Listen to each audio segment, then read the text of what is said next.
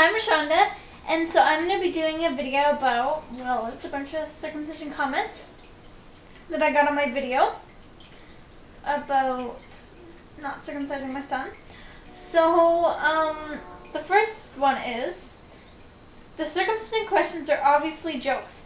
People just don't randomly ask pregnant women if they plan on circumcising their sons. The people who are asking you know your stand on circumcision and already know you're not going to. They're just being retarded. Get a clue, Richanda. Um, well, no, because a lot of women who are either against circumcision or would never do it to their kids do it, like who don't agree with it or whatever, um, do it for their man, whoever they're with. Um, and they regret it later, which sucks. Um, it's been on parenting sites and such where women have circumcised their sons for their husbands or significant other or whatever you want to call it, and then regret it later. So it's not retarded, and I do have a clue. Thanks though. Um, the next one is Richanda, please address other issues like female genital mutilation, like breast implants, and like women getting labia reductions. Okay, so my fight is circumcision, not female genital mutilation, since that's actually against the law.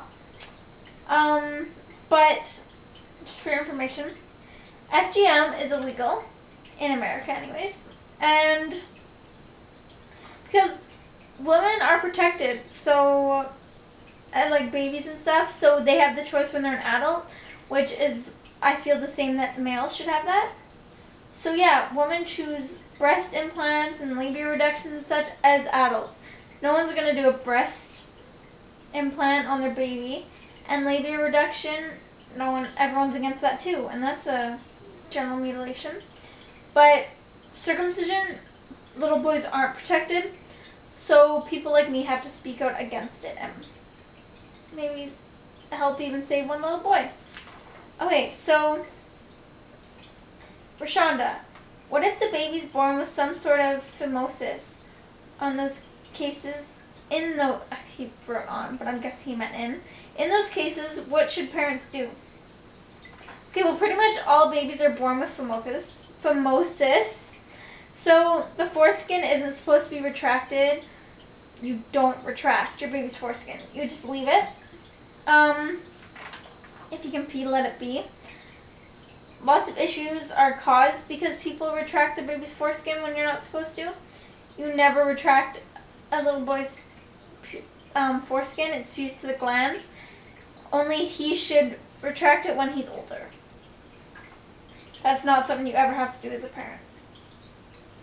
Okay, so the next comment was actually spammed. And so by like viewers, and so here it is. Um, I think you should get it done. It does not hurt babies, but it will hurt a lot if you're an adult. You're apparently too immature to even have a child. You should have an abortion until you grow up. But he couldn't even spell until right. He's wrote itil. Nice spelling for an adult. Okay, so anyways, you're the you're obviously the one who's immature. I mean, saying it doesn't hurt babies? Yeah, right, get real. Babies feel pain too. And you know what? Even if circumcision was painless, which it isn't, obviously, I still wouldn't get my son circumcised because it's his body, it's his choice. It's not my body, it's not my penis, it's not my choice. You should really grow up, be the one who should grow up and educate yourself. Okay, so the last one that I took from the comments on that video is, I don't see the issue with getting circumcised. I guys who didn't have it done and they were made fun of because they weren't normal. So I guess he means I know guys. Maybe in your culture it's different. I respect your decisions though. Okay, well, thank you for respecting my decisions. And so penises are covered, so that's a stupid argument or excuse or whatever. And the majority of most American states and such are intact. I mean, there's a few states that still have quite a bit of circumcised men, but I mean, most are now intact, and seriously getting made fun of for being circumcised. Um, there's a lot of things kids get get made fun of for. So are you gonna do a bunch of other weird things to prevent that? Like, get real. Um,